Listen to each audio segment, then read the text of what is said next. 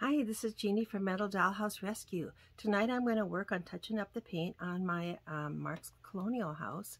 And so I thought maybe you'd enjoy following along. We've painted together before, but you know, it's always good to have a reminder and to see a different, maybe a different technique on another house. So let's take a look at this house and see what needs to be done.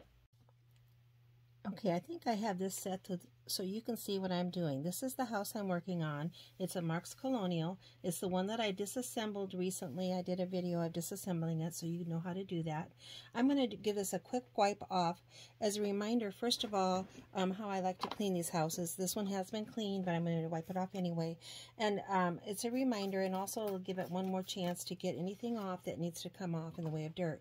Now, this is awesome cleaner from the Dollar Tree. It's one of my favorite cleaners to use use. I always spray it on the paper towel rather than on the house. Um, the other thing I like to use is rubbing alcohol, which I have here in a spray bottle. And this works best if you're just like cleaning off dust.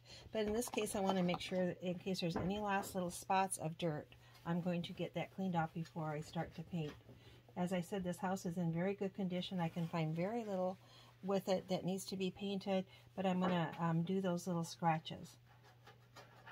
Here there's a little spot. I'm just double checking to make sure it's um, a little scratch and not dirt. And I do think it is a little spot right there where the a little bit of paint is gone.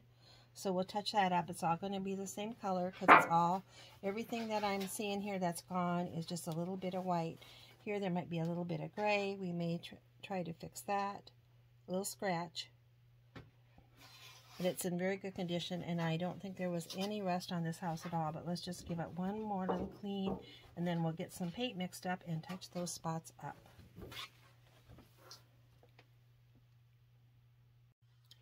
All right, let's start with a reminder of what you might need to paint. You'll need a, a paintbrush. I like one with a fairly um, not very big end on it.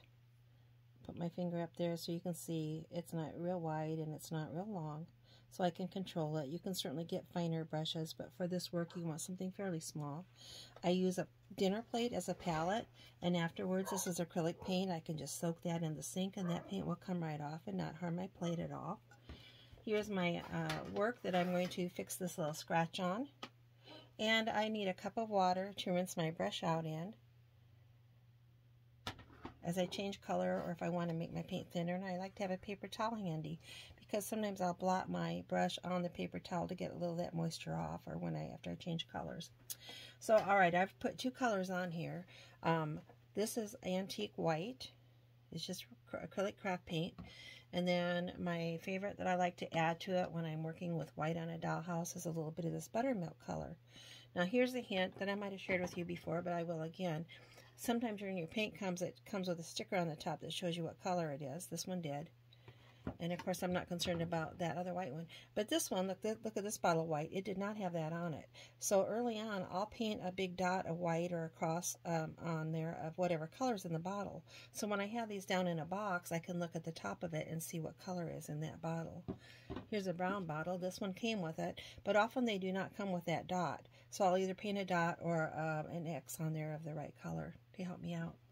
So just a little hint. All right, I've already mixed a little this buttercream together with the white, and I'm sure you can't see the color differentiation, but this is just a little bit off white. And I'm going to try a, a new technique. And on this scratch here, you probably cannot see, but I have already put a piece of tape next to that scratch on each side. I just use regular tape like you use for wrapping a present. Scotch tape, or this is a, a different brand. Um, so you won't be able to see it because it's clear. But my idea is that if I can keep my paint right on that scratch, it will avoid any overpaint. So I'm just going to try this. I've never done this before. So I'm just going to touch that up. This color is not too bad as far as a good match. And we'll let that dry, and then we'll pull that tape off and see if that was successful or not. So this scratch, I've already tried to just touch it up a little bit. This one I did not put tape on. But if I just touch that very, very lightly with my brush,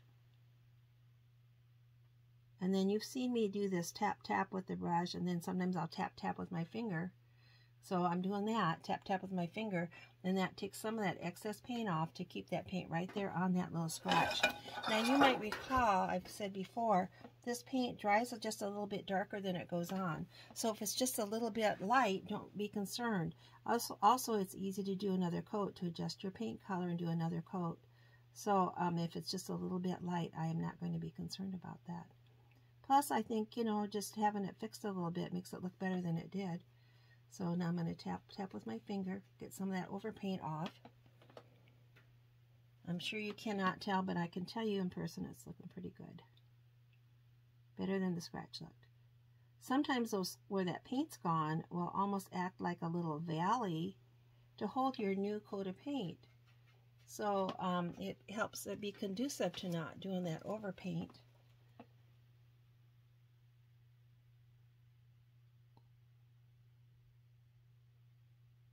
This house is in very good condition. I um, can see very few spots that need any touch-up, but we are going to look for those spots and make it look as good as we can. There was no rust as far as I could tell, no missing tabs.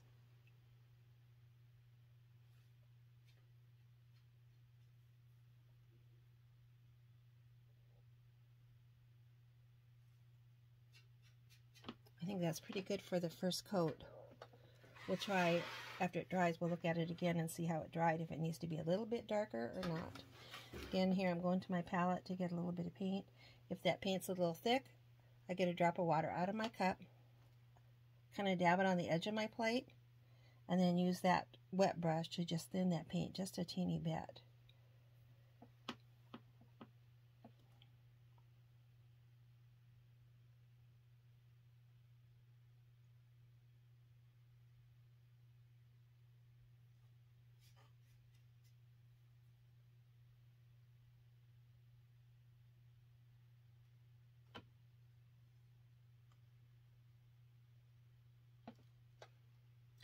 Honestly, I don't know that I see anywhere else that I want to even mess with.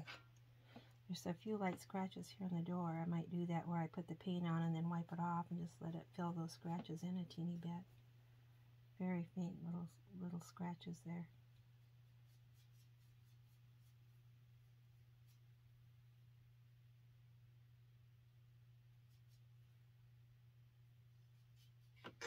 Alright, I'm going to see if I can take this paint, this tape off and see if that worked very well or not. Was that a good technique or not? I don't know. Hmm. So far it looks good. Let's try the other side. I tried not to put that tape on real tight. You know what I'm saying?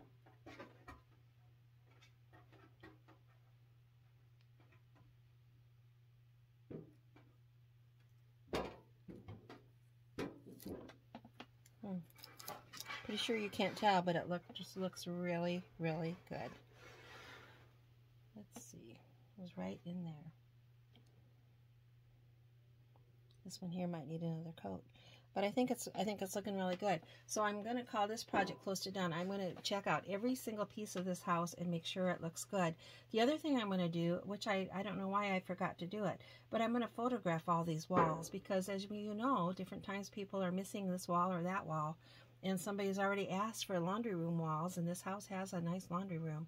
So um, I'm going to photograph all these pictures all these walls so they'll be available to anybody that wants to download them or if you need me to print them off for you we'll have that ready for you. All right thanks again for joining me. I will talk to you later